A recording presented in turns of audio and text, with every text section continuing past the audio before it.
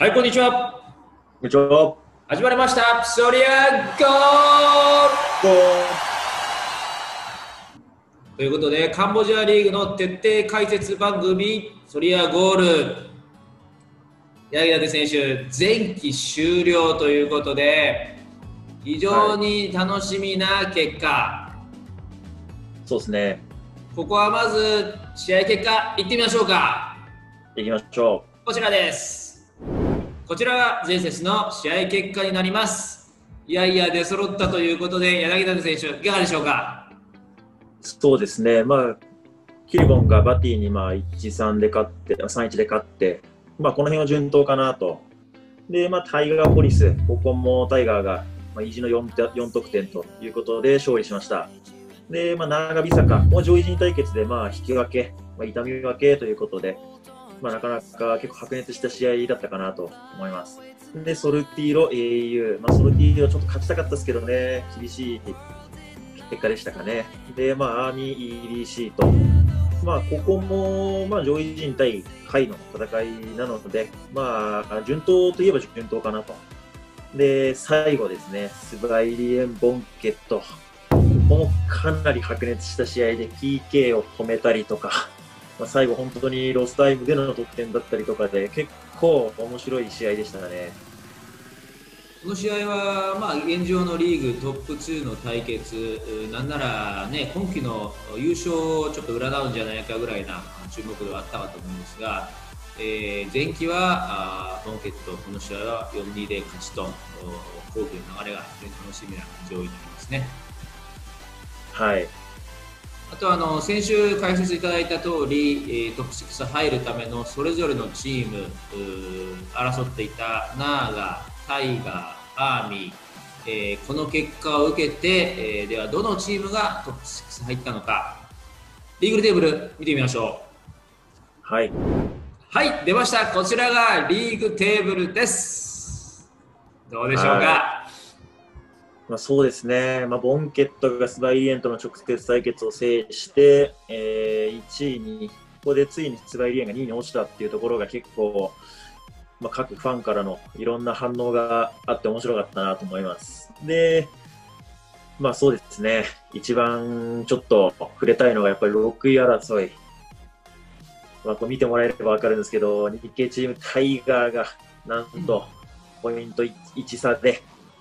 残念ながら7位になってしまったということでですね、まあ、ちょっとこれ残念だったんですけど、あのまあ、見てもらえれば分かると思うんですけど、タイガーは本当6位入ってても全くおかしくない実力のあるチームだったなと思います。はい。はい。まあそうですね、下の方もあの本当に8位以下ですね、全チーム固まっているので、まあ、後期、まあえー、6試合ですかね、の結果次第では、本当に最下位から一気にぐんと上に上がったりもできるかなというような結果ですね。最近はあのオープン戦カップということでカップ戦も並行しているので選手のコンディションも上がってきている部分がもしかしたら出てきてるかもしれませんね。はい、はい、以上リーグテーブルでした。はい、では恒例の、えー、先週のピックアップマッチです。今週のピックアップマッチはアーミー対 EDC 戦を取り上げたいと思います。この試合ですが、えー、見事トップ6を入りを決めた試合になるんですが、あれですよね、その前日に同じくトップ6を争っていた、えー、他の2チーム、ナーガとタイガーが結果を出した上でのアーミーということで、なかなか厳しい試合だったと思うんですが。そうですね、あのアーミーはもう勝たないとあのトップ6入れないっていう状況の中で、まあ、2失点はしたものの、まあ、攻撃陣爆発して4点。相手のオンゴールもあったんですけど、あの結構右サイドからの攻めがかなり効果よく効いてたんじゃないかなと思います。まあ、守備もまあ安定して20点はしたんですけど、まあ、安定してしっかりグラウンド悪い状況の中でも守りきれてたかなと思いますあのまさしくナイスゲームだと思うんですけれども、そのゲームから、えー、インタビューに日本人選手で活躍した遠藤美希人選手にご協力いただいてます。えー、まずはインタビューから、こちらからです。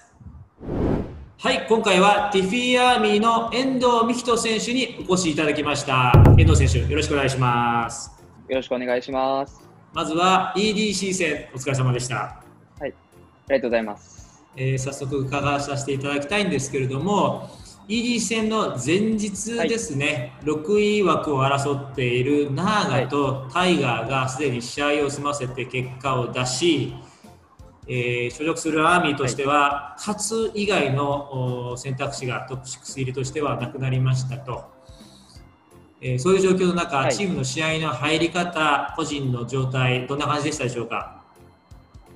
そうですね、もう高い以上の結果で絶対に勝たなきゃいけない試合だったんですけど、チームとしては、あ、そんなにガチガチに緊張するわけでもなくて、やっぱりその対戦相手が格下っていうこともあったりとか、外国人選手がいないっていう状況の中で、そのしっかり自分たちのサッカーを100%できれば、まあ、負けるはずはないだろうからと、こ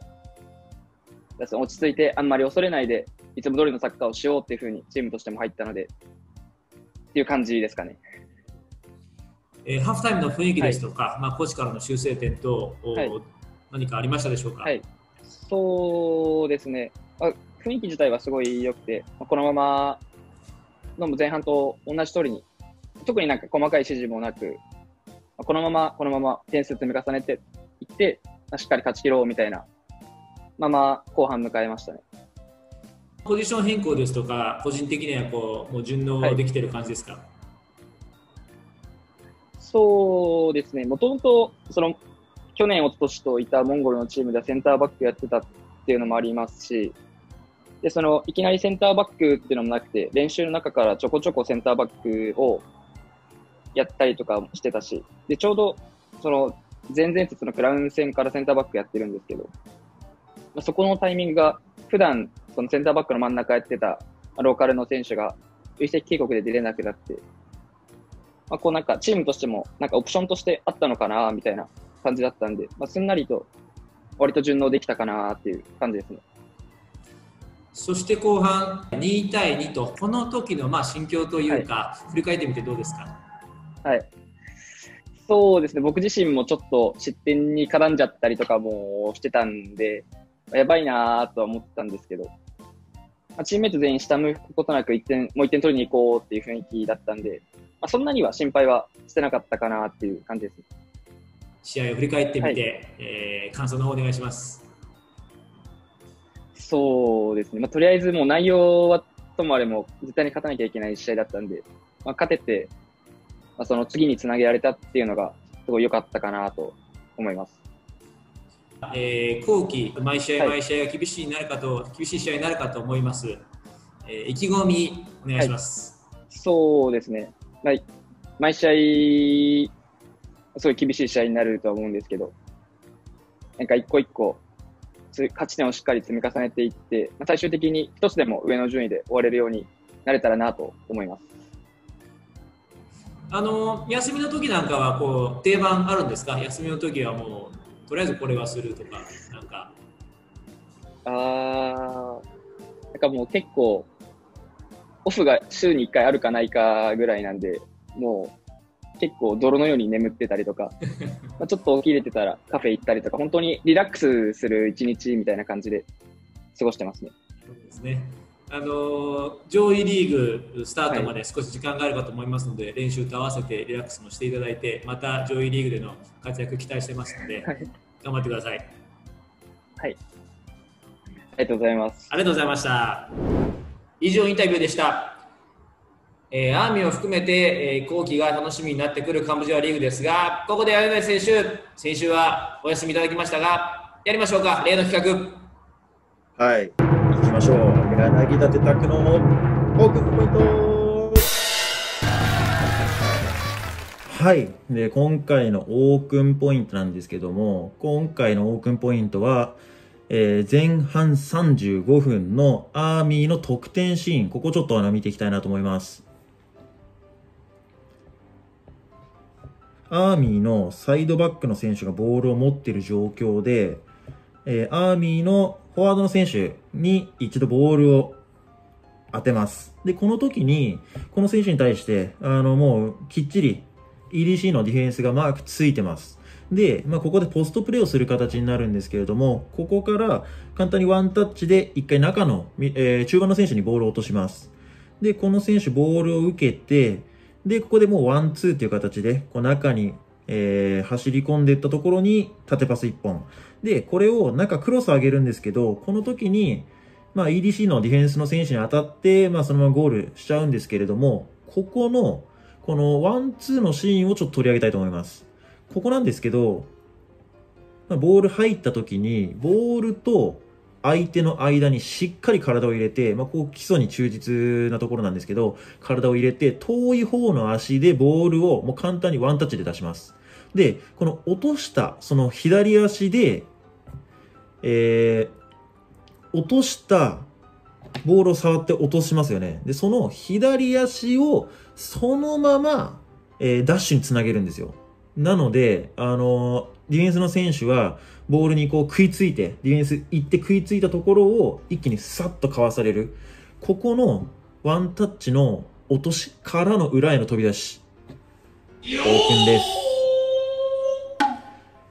はい。以上、オープンポイントになります。ありがとうございます。以上、オープンポイントありがとうございました。ありがとうございます。さあ、ということで、えーリーグ後半、今後の展開になりますが、えーまずはリーグスケジュール見てみましょう。はい、こちらが、えー次節の試合カードになります。えー今週末は、えーリーグ戦はお休みということで、そうですね。一周空きます。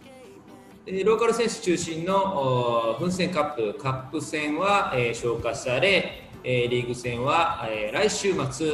ということですね、えーいかがでしょう、カードの方は。そうですね。まあ、あの、注目となると、やっぱり上位リーグの方の試合に偏ってしまいがちなんですけれども、あの、まあ、タイガーポリス、これあの、先週やったのが、またあの、後期一発目、同じ相手で、まあ、ホームアンダーで変わってやるっていうところで、まあ、ここでポリスが逆転、逆転というか、あの、意地を見せて、あの、前期の屈辱を果たせるかどうかっていうところもちょっと見ものかなと思います。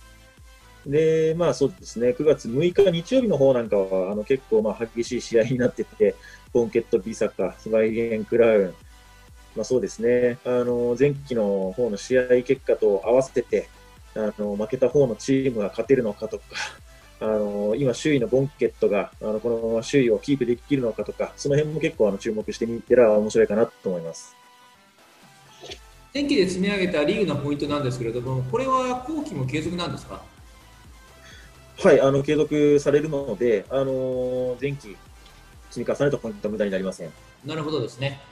えーとなると、このソリアゴール、まあ、毎週放送してるんですが、来週の放送は？来週が、まあ、ちょっとまだ詳しいこと言えないんですけど、特別企画をやろうかなということで、あの別途 Facebook なんかで告知させてもらいたいと思うんで、楽しみにしておいてください。わかりました。以上、今週のソリアゴールでした。えー皆さんご視聴ありがとうございます。また、いつもよろしくお願いします。お願いします。さようなら。